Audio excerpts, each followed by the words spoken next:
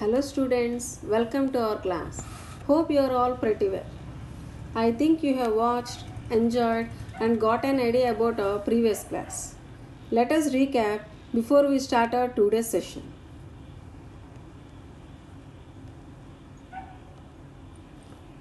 So what did we learn in our earlier video? We have learnt about types of nouns. There are five kinds of nouns. What are they? Common noun, proper noun, collective noun, material noun, abstract noun. And nouns are of again countable nouns and uncountable nouns.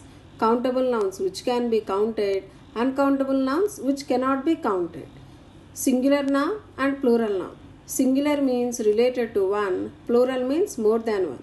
We have discussed about each and every kind in a detailed manner.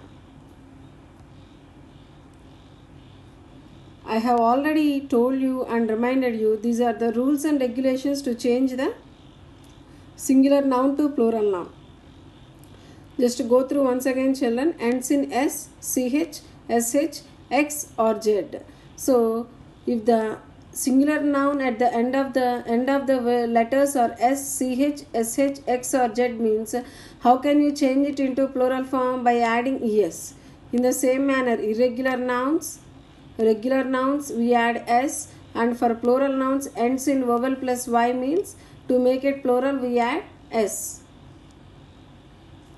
A countable noun is a noun that can be counted. Example car book flower.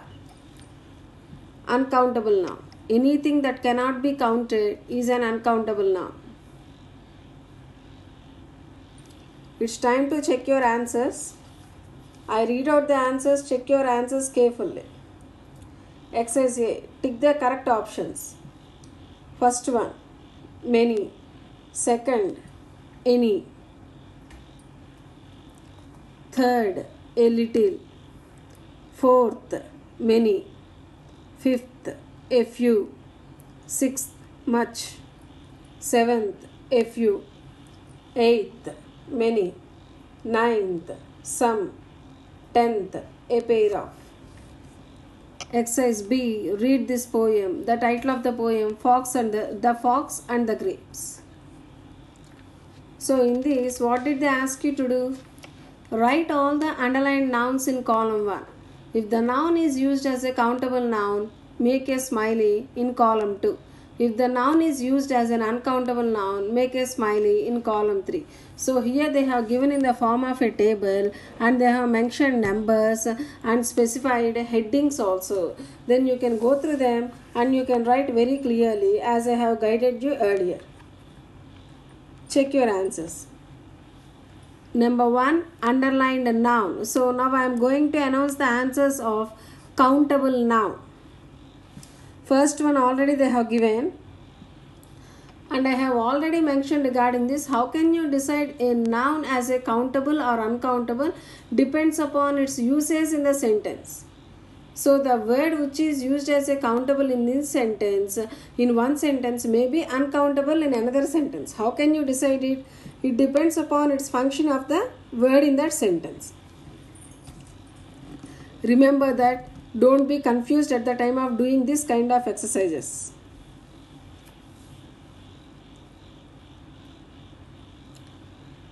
Fox, orchard, eye, bunch, grapes, thing. And now I am telling for uncountable noun. Aim, results, length, moral, reach. These command are uncountable now. See here children, go through careful and answer. Here they have underlined some of the words also. One more time I am repeating the answers. Fox, orchard, eye, bunch, grapes, thing. Our, shoulder, these command a countable noun. Aim, results, length, moral, reach. These come under uncountable noun. Exercise Fill in the blanks with a, an, or the. Put a cross where no article is needed. First one a, second one cross out, third one the, fourth one a, fifth one the, sixth one cross out, seventh one an, eighth one cross out, ninth one a, tenth one the, eleventh one an, twelfth one an. Exercise. Fill in the blanks with the suitable words or phrases from the box. Put a cross where none is needed. You may not need all the words or phrases. You may need to use them some more than once. First one already they have given the. Second one first blank several. Second blank the. Third one the in the first blank. Second blank the.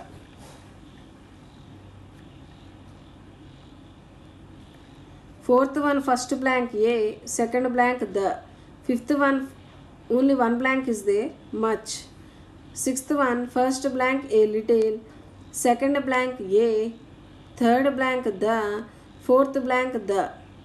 Seventh one a few, eighth one the, ninth one the, tenth one the, eleventh one a few, twelfth one first blank some, second blank the, third blank many. Exercise E. Here are some interesting facts about animals. Tick the correct options to complete them.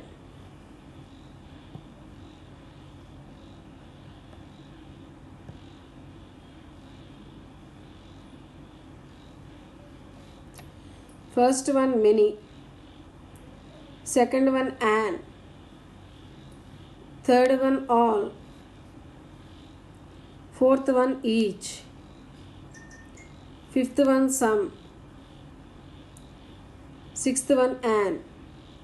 Seventh one all. In the first blank. Second blank the. Eighth one the. Ninth one many.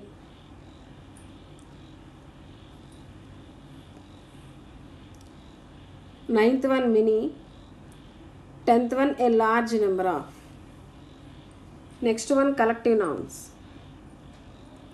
A group of elephants. Herd. A group of people of the same culture. Tribe. Third one a collection of goods. Stock. Fourth one a set of rooms in a hotel. Suit. Fifth one a group of people gathered in a church. Congregation. Sixth one a group of soldiers. Regiment. Seventh one a group of stars.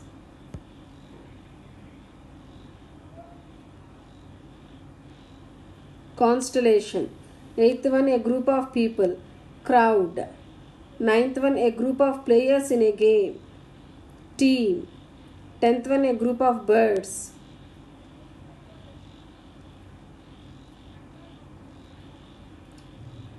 Baby. A large group of a particular type of bird. So that's why baby. Here you have to select the options from the given options. So here they have given a word baby, so we have selected that only.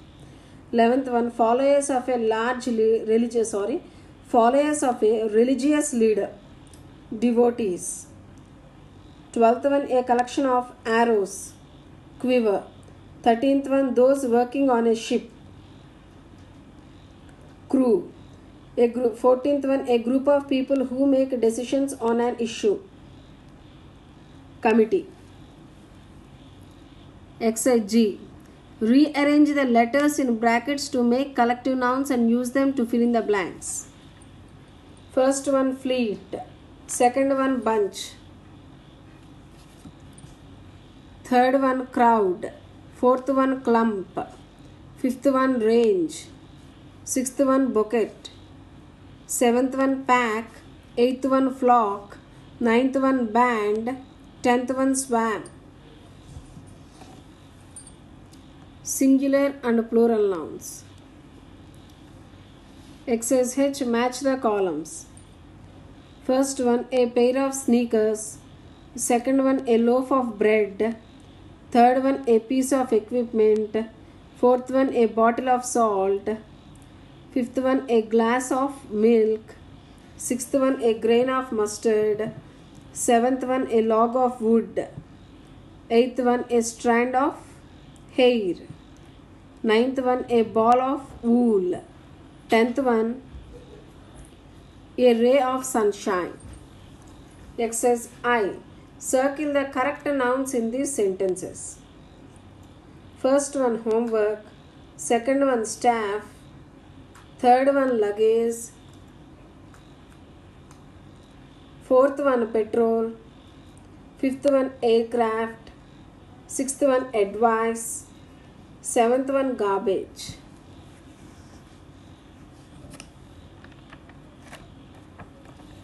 Eighth one, furniture. Ninth one, hair. Tenth one, binoculars. Eleventh one, education. Twelfth one, music. Thirteenth one, companies, progress. And next exercise, first blank, World Chess Federation. Second one, City of Vijayawada. Third one, Chess City. Fourth one, Talented Youngsters. Fifth one, Dronacharya Award. Sixth one, Under 8 Championship. Seventh one, Grandmaster. Exercise J. First one, A. Second one, many or some or a few. Third one, first blank a few or some. Second blank the. Fourth one, several or many. Fifth one, the. Sixth one, some. Seventh one, much. Eighth one, some or several or a few. Ninth one, the. Tenth one, a little. 11th one some or a few 12th one a few or some 13th one many?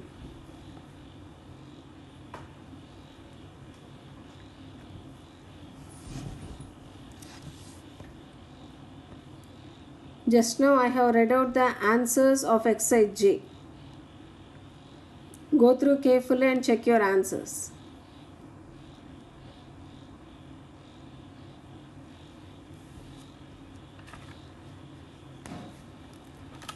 14th one some 15th one yan 16th one first blank some next blank cross out. No answer. 17th one first blank some second blank cross out. 18th one first blank a second blank more.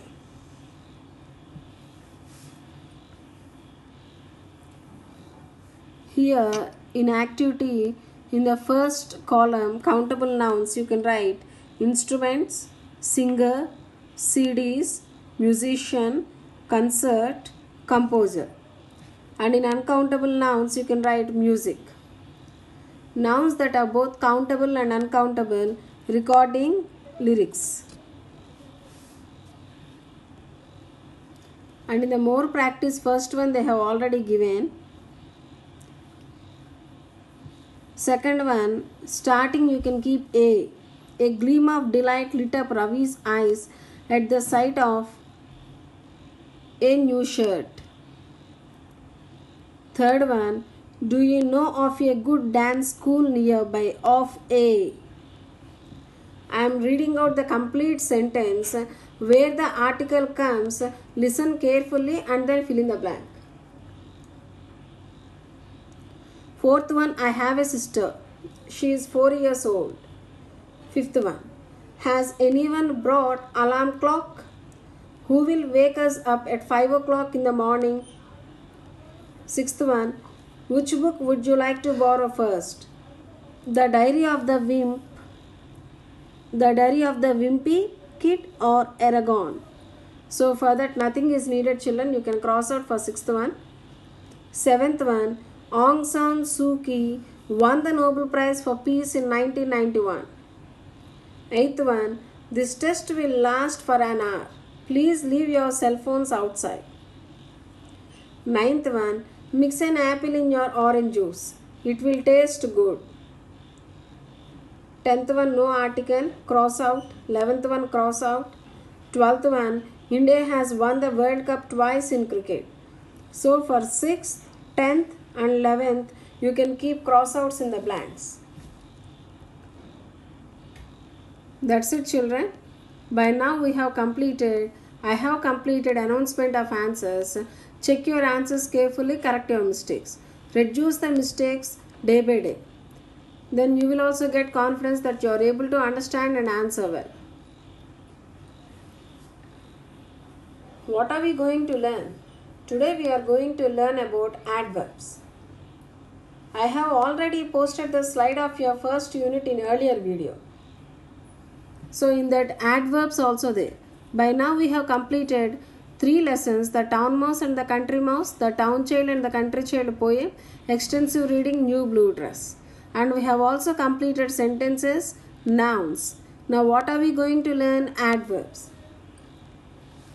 I believe and i am sure that you have acquaintance with this word acquaintance means what? It's not a strange word or new word to you. You have learnt about adverbs in your earlier classes also. Then what are we going to learn today? Is it necessary to learn once again what do we know earlier? Yes it's necessary and essential to learn. Means levels of learning and understanding will be increased in this year. That's the reason we have to learn about this in a detailed manner. Parts of speech. Different types of words we use when we speak and write. For example, I went to market, I am reading a book. I can complete my work on my own. These are three different kinds of sentences and in these sentences many words are used. So you already know very well group of words make a complete sense. So in this sentence each word comes under different kinds of parts of speech. So how many parts of speech are there? They are 8 in number. What are they? Nouns, pronouns, verbs, adjectives,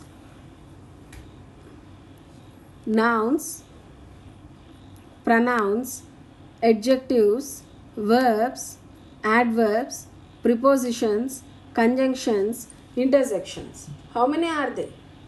They are totally 8 in number. Already we have learned about nouns in the earlier video. Now we are going to learn about adverbs.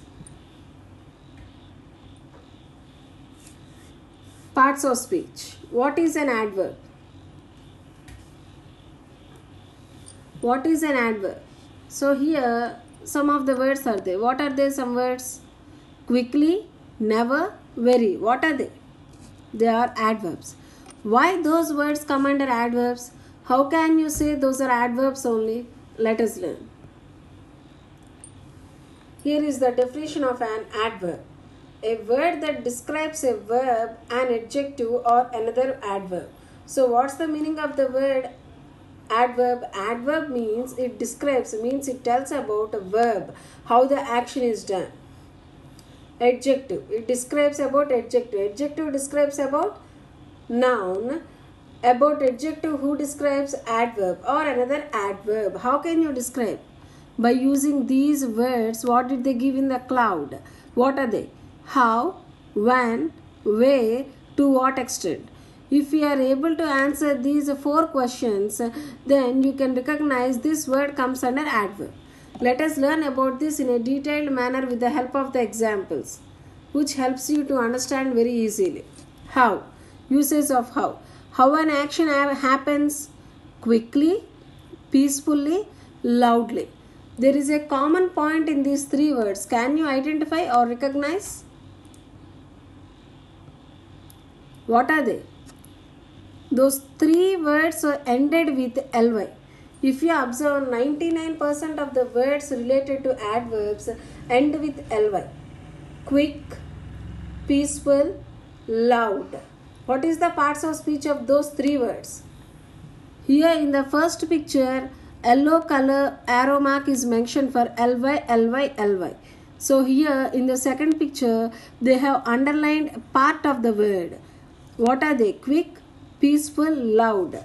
Those three words come under adjectives. By adding ly, it has come or it has it has been changed to adverb already we have gone through the definition no a word that describes a ver- verb an adjective or another adverb.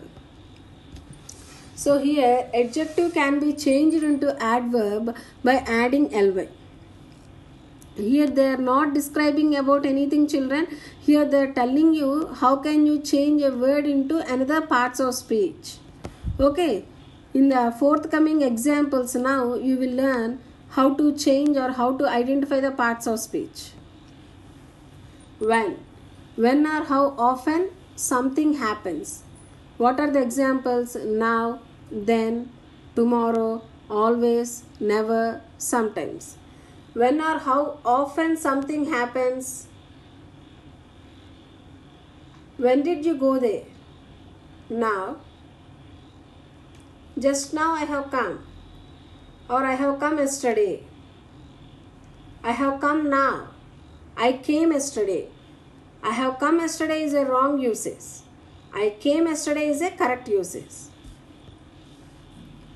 where something happens inside outside here there up down. Look up come here. Here they have changed the color of the words also. Up here or adverbs to what extent? It tells about intensity or degree. Examples barely almost very extremely. Adverbs. See one thing you have to remember the position of adverbs is sometimes at the starting of a sentence sometimes in mid of the sentence or at the end of the sentence there are rules and regulations related to position of adverbs also. Just go through these examples then you will get an idea. First example the dog wagged his tail and jumped.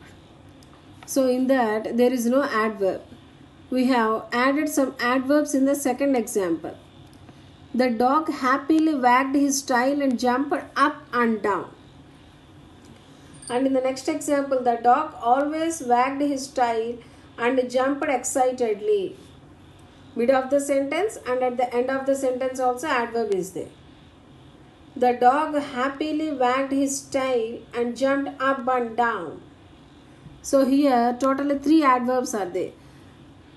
First sentence no adverb in the second sentence in mid of the sentence adverb is added.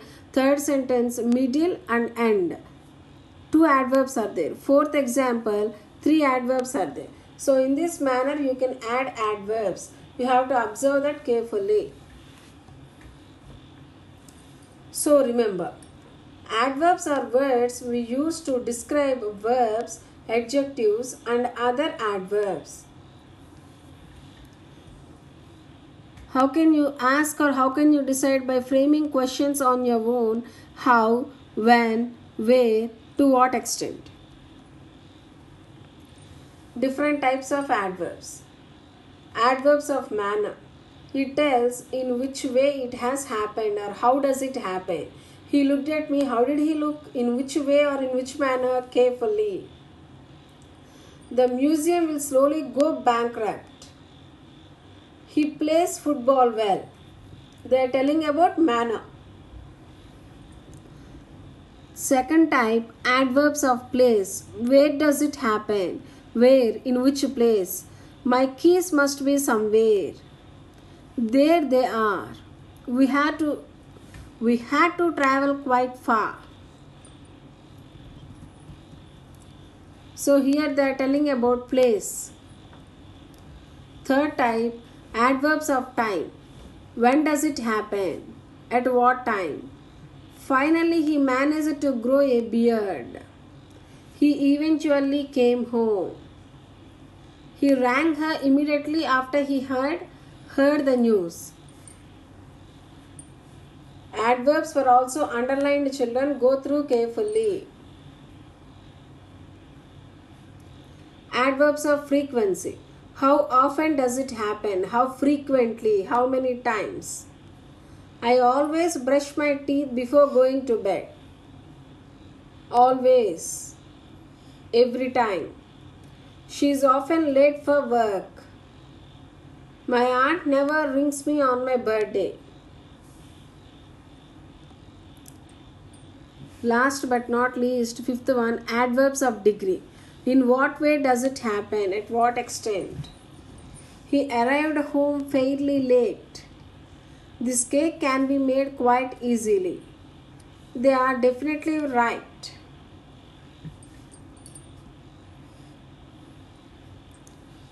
Now, see, children, until now we have discussed about adverbs, we have learned the definition, types of adverbs. By going through different examples, we have learned about position of adverbs also. The same explanation they have given in your grammar and more also. Let us go through that also. Lata has written some interesting facts about India. Here they have given some of the interesting facts about India and the words in grey are called adverbs. In this they have given some of the words in grey color. Those words come under adverbs. Go through that carefully. And they have given the definition of adverb also. An adverb is a word that tells us more about a verb, an adjective, or another adverb. We have gone through just now. Here, what did they give? Neelam was walking briskly in the park. So, briskly tells about what? Tells us more about walking verb. Neelam was walking at a very brisk pace in the park. So, here tells us more about brisk adjective. Third example, I saw Neelam walking quite briskly in the park. Tells us more about briskly adverb. So same example they have given in different forms. In the first one, describing about verb second example describing about adjective third example describing about adverb. Go through carefully children. You will enjoy and learn. There are different kinds of adverbs. Adverbs of manner place time frequency degree. Just now we have learned. Cross the odd ones out here they have given five questions. In that what should you do? Adverbs of manner. How can you cross out the odd ones? For this first you remember the definition related to the types. Then you can easily answer this and cross out the odd ones. Exercise b. Fill in the blanks with adverbs from the above exercise.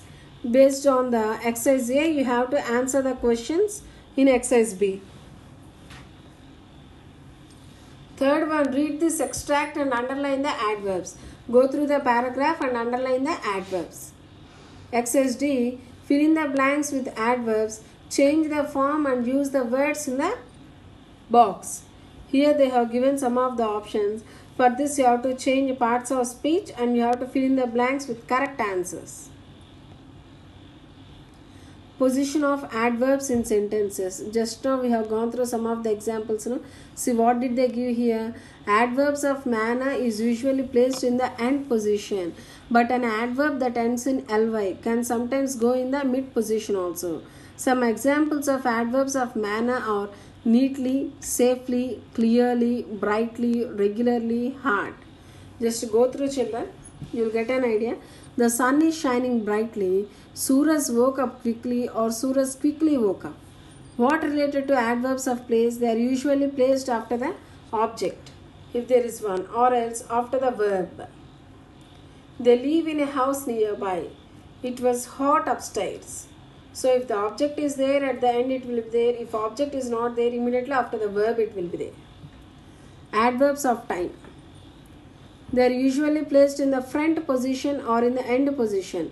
Some examples of adverbs of time are tomorrow, already, now, recently, ever. Tomorrow we'll go to Jaipur, correct. Or we'll go to Jaipur tomorrow, correct. Adverbs of frequency, they usually occupy the mid position in a sentence. My father is always on time for meals. Just now we have gone through cross the odd ones out exercise A.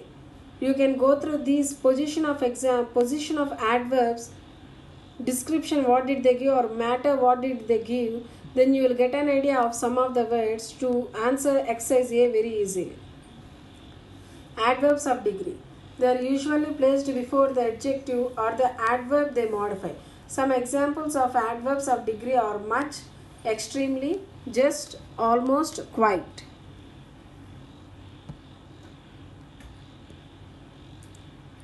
Exercise E. Fill in the blanks with the correct adverbs from the box. Go through the options and answer the questions carefully, children. Exercise F. Read these dialogues. Put A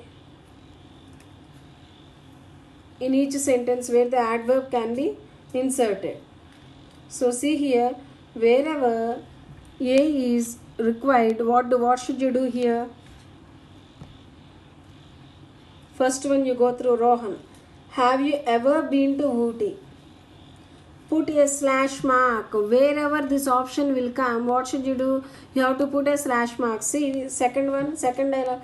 Ritu. My family and I keep a slash mark there.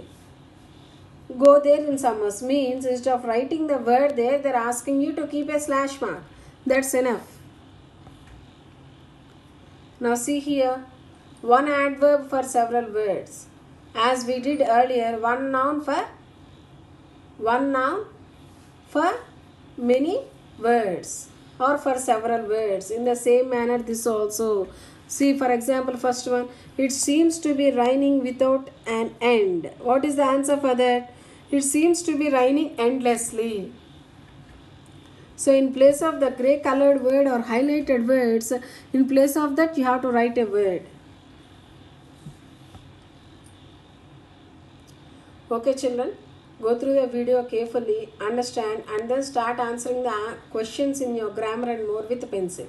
Then there will be a possibility to correct your mistakes. Health is wealth. Follow these precautions to avoid corona.